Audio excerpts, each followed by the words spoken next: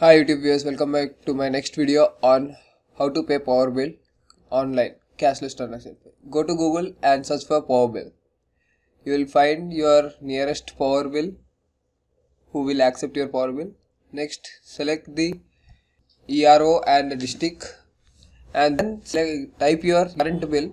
There will be a, there will be a power bill which is present to be given to you. In that there will be a unique service number just provide that unique service number on here and go for make payment.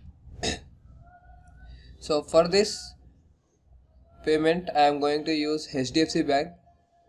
So after getting this you can see that how much amount is present in whose name it is and the address ERO and bill date when it is issued and the due date. So what you have to do submit it. Go for submit and then click on any type of transaction. Credit card debit card internet banking debit plus atm wallet cash. I'm using internet banking. I go with hdfc bank. I'm going to pay the payment.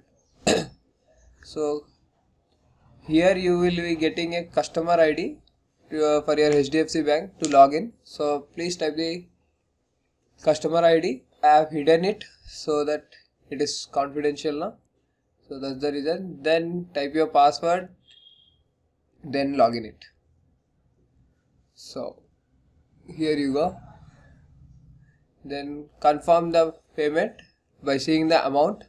Then type your OTP you will be receiving it within a short span of time. Then click on OK and this is how we have to make our payment. So you can make other payment or you can print it. Thank you for watching this video have a nice day. If you have any doubts or if you are facing any trouble while making this online for bill transaction just comment below. I will be sorting out the problem. Thank you